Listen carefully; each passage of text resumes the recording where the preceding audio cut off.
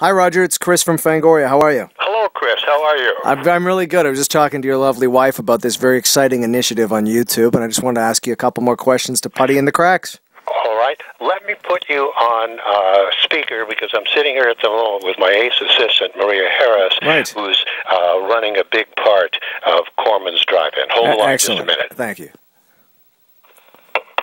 Are you still there? I'm here. I'm here. Hello, Maria. Hi, Chris, how are you? Very good. Um, yeah, Roger. So I was just talking to Julie. I'm just looking over these uh, the, the initial 30 pictures here, and uh, she mentions that you're hands-on on this. You got your fingers in all the pies, and that you're programming. And I wanted to know: is there a method to your madness? Well, it's more madness than method, as usual. Right. There's a, there's a certain method. Um, Corman's Drive-In will release in the first year somewhere in the neighborhood of 400 films. Right. Uh, what is the uh, what is the launch date, Maria? Um, June 13th.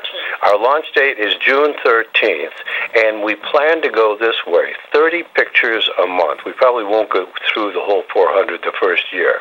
Be 30 pictures a month, re- replenished each month. At the end of each month, we'll probably keep a few of the first 30 on, probably the best selling of them, and then bring in others. For instance, if we keep 10 uh, for the second month, we'll bring in 20 new ones for the second month, and so forth thereafter. Uh, It's been something of, of a challenge as to what to do because we, needless to say, want to lead with our best pictures in order to launch it well, but we don't want to exhaust all our best pictures in the first month and have nothing but secondary pictures. So we've sort of put together uh, a combination of some of our best pictures and some of our.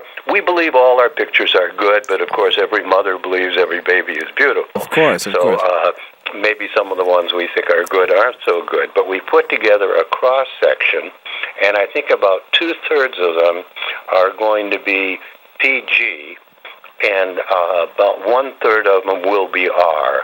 We we made, as you know, a number of R-rated films, uh, uh, starting with the Big Dollhouse, our women in prison picture in the Philippines when we first got started, and then uh, Katt Shea did uh, Stripped to Kill, which was a murder mystery in a strip club, which led to a number of murder mysteries in strip clubs. But we go back over and over and over to science fiction and horror, which is the basis of the library. Although we have a number of family films as well, which have held up well over the years. Now, just as a side note, before we continue, I, I just realized that Eddie Romero passed. Were you aware of that? I didn't know that. Eddie was a good guy. He directed a couple of the Philippine pictures for us in uh, when we first started, and he was known as something of an auteur in the Philippines. He did commercial films for us, but he did what uh, they would consider to be auteur films. I'm, I'm sorry to see uh, hear that hear that he died. Yeah, but a good long life and definitely one full of action. Um, but I, you know about these about these titles, you're talking about you dividing them between R-rated and PG and G. Now we're we're talking about YouTube. We're talking about online, the Wild West. Do ratings even matter? And how do you how do you control that? Well, I don't know if there will be ratings as such. What it amounts to, it's VOD. It's is it three ninety five or three ninety nine? 399. It's three dollars and ninety nine cents a month to subscribe, and you get uh, all thirty pictures or one or none for three ninety nine. So ratings is not going. Ratings are not going to be of any particular meaning to us. What will be uh, of 399 times X, and X is the number of subscribers. That will be meaningful to us. Of course. So just viewer discretion advised when when applicable.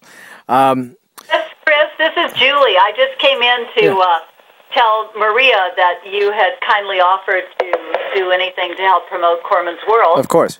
here with Roger. So, um, you know, you're on to Maria, right? Yes, yes, yes. Maria and I are in contact, so we can we can continue that discussion elsewhere or here, wherever.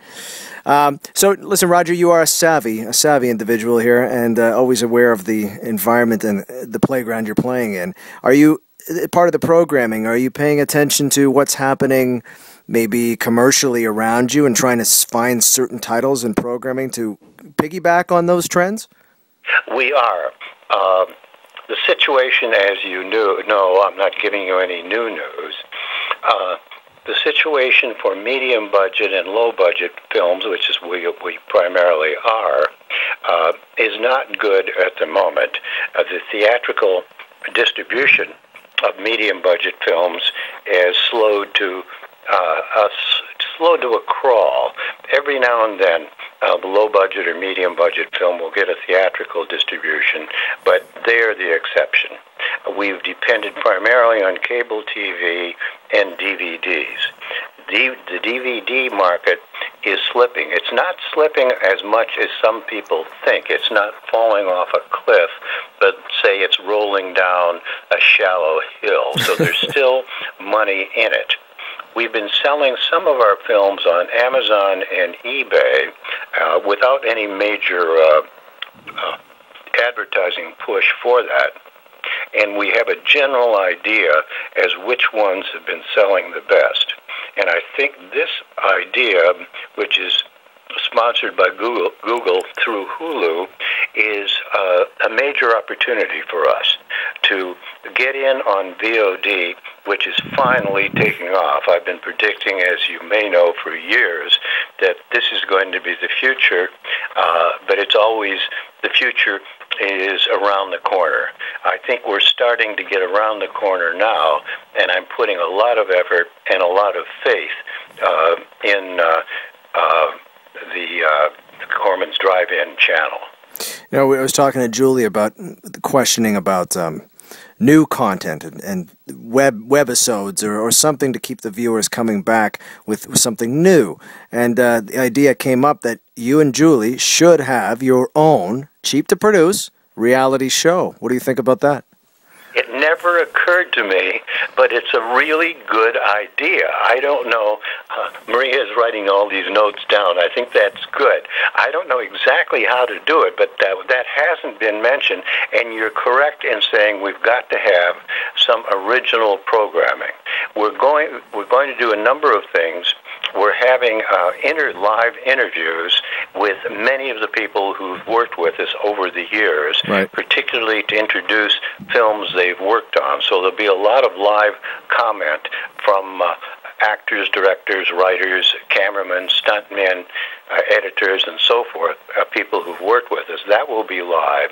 We're thinking of having a news uh, program that would be on uh, for a few minutes every day, just saying what's going on in Hollywood today, uh, with particular emphasis on. Uh, the genres we've worked with, primarily science fiction and horror, but everything else.